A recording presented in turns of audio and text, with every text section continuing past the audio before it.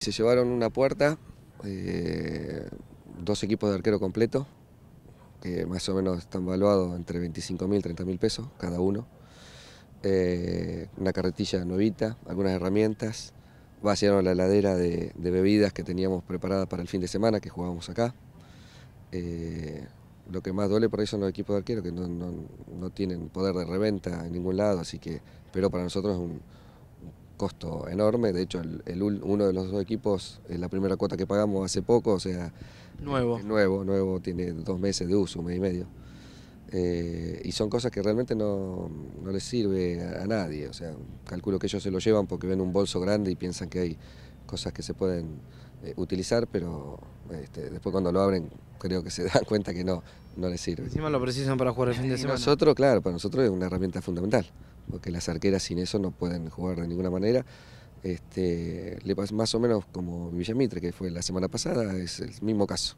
Eh, materiales de construcción y, y, los bolsos estos que ya te digo, calculo que se los deben llevar porque creen que es algo que se pueda este, vender o utilizar y después cuando se dan cuenta que, que lo abren no, no tiene ninguna validez para ello. Pero sí, bueno, es un costo muy, muy alto. Y esperemos que por ahí por daño no, no lo rompan o, o lo inutilicen porque ahí bueno sería más, más mayor problema. Eh, calculo que cuando vean lo que es lo dejarán por ahí y bueno alguien alguien se acercará a decirnos que lo encontramos.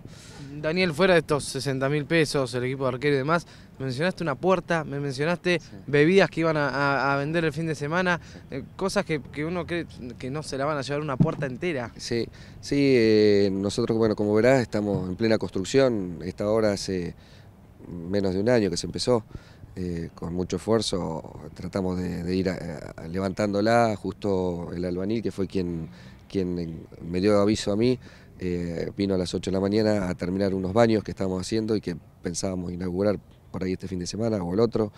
Eh, y bueno, este, lamentablemente por más que seguridad que le demos con rejas o candados, eh, sobre este lado que es donde robaron, da al centro del, del predio. Entonces por ahí los vecinos, que, que hay muchos ahora, eh, antes cuando vinimos no había nadie prácticamente, ahora hay muchísimas, muchísimas casas, se ve que no ven, o sea, no, este, trabajan, entre comillas, eh, tranquilos, ¿no?